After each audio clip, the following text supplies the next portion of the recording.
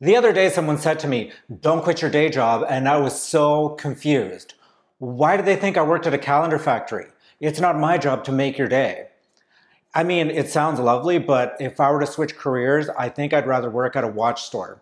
That way I could show people a really great time. Or maybe a maternity ward, because I like to meet new people. It's not the best audience, but uh, at least it gives me a chance to work on my delivery. And if it was a really rough delivery, then uh, I could leave them in stitches. I guess I'd have to be a surgeon for that. When I was a kid, my dream job was actually to be a heart surgeon. I like the idea of doing the sutures and really tugging at those heartstrings.